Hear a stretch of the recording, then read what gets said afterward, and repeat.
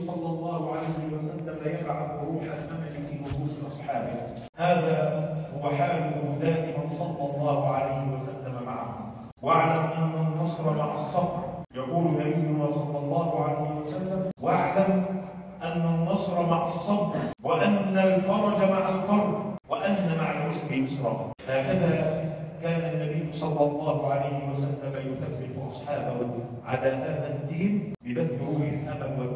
والتفاؤل في قلوبهم كما في حديث خباب رضي الله عنه وهو حديث صحيح حري بأن نتامله ويثرت بغذائه دائما ولا سيما في أوقات الشدائد والأزمات. جاء المستضعفون من المسلمين في مكة إلى النبي صلى الله عليه وسلم وكان النبي صلى الله عليه وسلم متوسلا بردته عند الكعبة في ظل الكعبة. نائم فلما اشتد عليهم اضطهاد أهل مكة لهم وضاقت عليهم مكة بما فيها ذهبوا إلى النبي صلى الله عليه وسلم وقالوا له يا رسول الله ألا تستنصر لنا؟ ألا تدعو لنا؟ وكأنه قد تسرب اليأس إلى قلوبهم فراحوا يطلبون من النبي صلى الله عليه وسلم أن يدعو لهم بالنصر. وبتفريج هذا الكرب الذي هم فيه ألا تستنصر لنا؟ ألا تدعو لنا يا رسول الله فقام النبي صلى الله عليه وسلم وقد احمر وجهه. وقال لهم لقد كان من قبلكم يؤتى بالرجل فيحفر له في الأرض. ثم يوضع في هذه الحفرة ثم يؤتى بالمنشار فيوضع فوق رأسه فيجعل به نصفين. ويمشط ما بين جلده وعظمه من لحم وعصب بأنشاط الحديد. ما يصده ذلك عن دينه. وهو ثابت على دينه. رغم هذا العذاب ثم تأتي تلك العظمة التي جاء محمد صلى الله عليه وسلم ليؤصلها لنا. هذه القاعدة العظيمة التي وضعها لنا النبي صلى الله عليه وسلم. فقال صلى الله عليه وسلم والله ليتمن هذا الأمر هذا الدين وأمر هذا الدين حتى يسير الراكب من صنعاء إلى حضر موت لا يخشى إلا الله والذئب على ولكنكم تستعجلون وعد من النبي صلى الله عليه وسلم يملأه التفاؤل يملأه الأمل على الرغم من هذه الشدة. وهذا الكرب الذي أحاط بالمسلمين. ليتمن الله هذا الأمر حتى يسير الراغب من صنعاء إلى حضر لا يخشى إلا الله والذئب على غنمه ولكنكم تستعجلون. هذه القاعدة تقول لنا أن الله عز وجل لا يعجل بعجلة أحد. لا يعجل بعجلة أحد. وأن الله عز وجل فعال لما يريد وقت ما يريد كيف ما يريد. الكون كونه والملك ملكه والخلق عبيده والكل في قبضته يفعل ما يشاء وقت ما يشاء كيف ما يشاء. الله عز وجل لا يعجل سبحانه وتعالى بين الكاف والنور. إنما أمره إذا أراد شيئا أن يقول له كن فيكون. هذه عقيدة ثابتة. لا بد لكل مسلم منا أن يبدأ قلبه به اولا أن الله عز وجل لا يعجل بعجلتنا وأن الله عز وجل سينصر هذا الدين بنا أو بغيرنا وأن المستقبل لهذا الدين بلا منازع علينا ايها الاحبه ان نفعل ما بنسعنا ان نؤدي ما علينا أما النتائج فنتركها لله جل وعلا. على المرء أن يسعى إلى الخير جاهدا وليس عليه أن تتم النتائج. النتائج بيد الله. والنبي صلى الله عليه وسلم أيضا حينما نتأمل في سيرته العطرة نجد دائما كل احاديث التفاؤل والأمل تأتي من رسول الله صلى الله عليه وسلم في أحلى الظروف التي مر النبي صلى الله عليه وسلم بها والتي مر بها أصحابه. نعم. مرة أخرى في غزوة الخندق. والازمه ازمه تحسب الأحزاب على النبي صلى الله عليه وسلم والأصحاب يوم الخندق. وضاقت عليهم الأرض بما رحبت وبلغت القلوب الحناجر وظنوا ثم ماذا؟ ماذا بعد ذلك؟ ورد الله الذين كفروا بغيظهم ان ينالوا خيرا. وكفى الله المؤمنين. نعم أيها الأخوة. ويقول النبي صلى الله عليه وسلم بعد تلك الغزوة الآن نغزوه ولا يغزونا. هذه هي المرة الأخيرة التي تغزونا فيها قريش. الآن نغزوهم ولا يغزونا. ولما اعترضتهم الصخرة هم يحفرون الخندق النبي صلى الله عليه وسلم تلك الصخرة. فجاء النبي صلى الله عليه وسلم بالمعبر وضربها ضربة. فلق ثلثها أضاء منها نور من جهة اليمن. فقال النبي صلى الله عليه وسلم الله أكبر. فتحت اليمن. والله إني لأبصر أبواب صنعاء من مكان الساعة. وهم في هذا الخوف المشركون من أمامهم واليهود من خلفهم والواحد منهم ليقضي حاجته والرعب ملأ قلوبهم. ومع ذلك يقول لهم النبي صلى الله عليه وسلم الله أكبر. فتحت اليمن ثم يضربها الثانية فيخرج منها نور من قبل الشام فيقول الله أكبر. فتحت الشام إني لأبصر قصور الحيرة من مكان الساعة. ثم يضربها الثالثة فيخرج منها نور من قبل فارس فيقول الله أكبر. فتحت المدائن. والله إني لأبصر قصور كسرى من مكان الساعة. فقالوا صفها لنا يا رسول الله. جلبها لنا. فجعل النبي صلى الله عليه وسلم يصف له هذه القصور كأنها أمام بصره. وسلمان الفارسي رضي الله عنه بجواره يبكي ويقول صدقت يا رسول الله. هي هي. هي هي. علينا أيها الأحبة مهما تكالبت الأمم علينا ألا نفقد الأمل ألا نفقد الرجاء. علينا دائما أن نكون واثقين بموعود الله عز وجل لنا.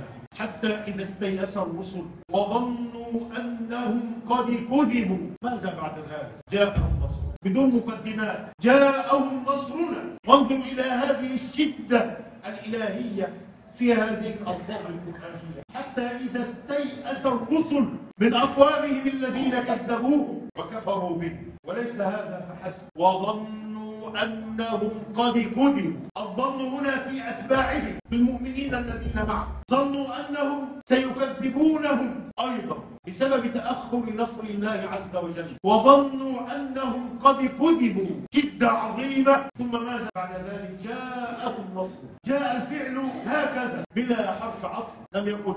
ثم جاءهم نصرنا لا. على هذه الفجأة الإلهية جاءهم نصرنا بالفعل الماضي. الذي يؤكد تحقق هذا الفعل. جاءهم نصرنا فنجي من نشاء. ولا يرد بأسنا عن القوم المجرمين. لا تيأسوا. أن تستردوا عزكم. فلرب مغلوب هوى ثم ارتقى. وتبشموا للعز كل عظيمة. إني رأيت العز صعبا مرتقى عباد الله أقول ما تسمعون وأستغفر الله. الحمد لله رب العالمين. ونشهد أن لا إله إلا الله وحده لا شريك له ولي الصالحين. ونشهد أن محمدا عبده ورسوله صلى الله عليه وعلى آله وأصحابه والتابعين لهم بإحسان إلى يوم الدين. ثم أما بعد عباد الله. يقول الحق تبارك وتعالى أم حسبتم أن تدخلوا الجنة ولما يأتكم مثل الذين خلوا من قبلكم؟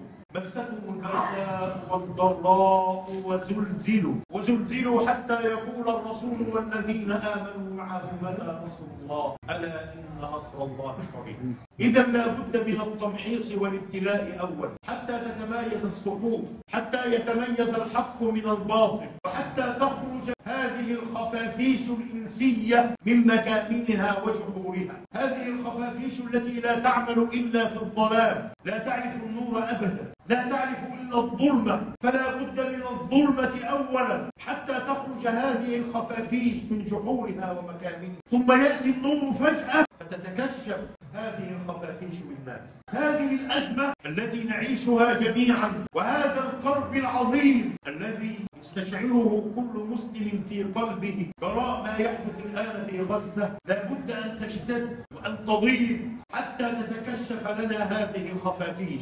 ثم يأتي النور بعد ذلك فجأة. فيتميز الحق من الباطل وتتمايز الصفوف كما بين الله عز وجل. لنا ما كان الله ليظهر المؤمنين على ما أنتم عليه حتى يميز الخبيث من الطيب. نعم لا بد أن يميز الله عز وجل بين الخبيث والطيب. هذه سنة من سنن الله عز وجل في خلقه. هذه الأمة حينما يتأمل في تاريخها وتقلبها بين النصر والهزائم. يتأكد لك مصداق قول الله عز وجل في هذه الآية. في أزمة الردة في الفتن التي هاجت بعد مقتل عثمان رضي الله عنه. حينما اجتاح التتار بلاد المسلمين وحينما دخل الصليبيون بيت المقدس تجد أن كل هذه المحن تكشفت فيها كثير من الحقائق. وانزاح فيها كثير من الزيف حول بعض الأعلام في ذلك الوقت. وها هو التاريخ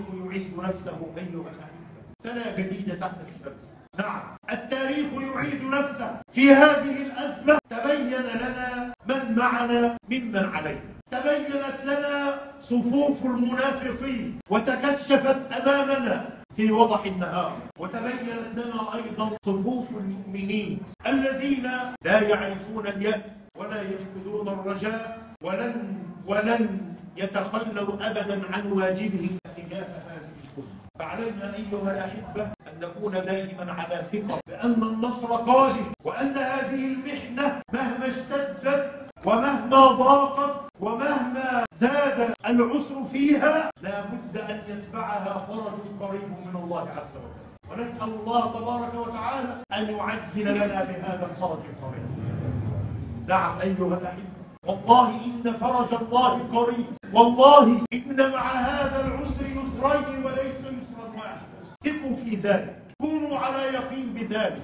لا تفقدوا الرجاء في الله أبدا. هؤلاء اليهود الملاعين ما يفعلونه الآن في غزة وفي فلسطين عموما. هذا له قصاص من الله عز وجل ولو بعده. لا بد أن يتبعه قصاص من الله ولو بعد حين. ولكننا علينا أيها الأحبة وهذا ما نؤكد عليه دائما كل أسبوع أن نفعل ما بوسعنا أن نؤدي ما علينا أن نعذر إلى الله عز وجل وأن نبرأ إلى الله عز وجل مما يفعله هؤلاء المنافقون. أسأل الله عز وجل أن ينصر دينه وكتابه وعباده. اللهم انصر دينك وكتابك وعبادك الصالحين. وأعز الإسلام وانصر المسلمين. واعد بفضلك كلمتي الحق والدين. اللهم من أراد كيدا للإسلام والمسلمين فاجعل كيدهم في نحورهم. واجعل تدبيرهم في تدبيرهم. اللهم انصر اخواننا المجاهدين في فلسطين. آمين. اللهم انصر اخواننا المجاهدين في مشارق الأرض ومغاربها. آمين. اللهم أنزل عليهم من الصبر أضعاف ما نزل به من البلاء. اللهم لا تمتنا حتى نقر أعيننا من أعدائك أعداء الدين. آمين. اللهم اقر أعيننا بعز الإسلام ونصر المسلمين. آمين. اللهم اقر أعيننا بعز الإسلام ونصر المسلمين. اللهم لا ترفع لليهود راية. آمين. ولا تحقق لهم غاية. اللهم لا تحقق لهم غاية. اللهم اجعلهم لكل معتد عبرة وآية. اللهم خفف وطأتهم على إخواننا يا رب العالمين. اللهم خفف وطأتهم على إخواننا يا رب العالمين.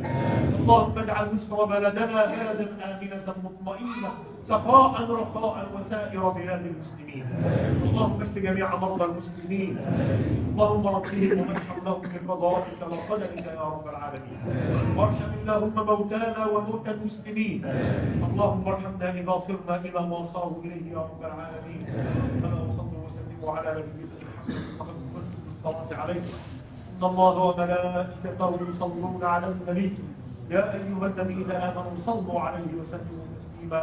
عباد الله إن الله يأمر بالعدل والإحسان وإيتاء ذي القربى وينهى عن الفحشاء والمنكر والبغي. يعظكم لعلكم تذكرون اذكروا الله يذكركم.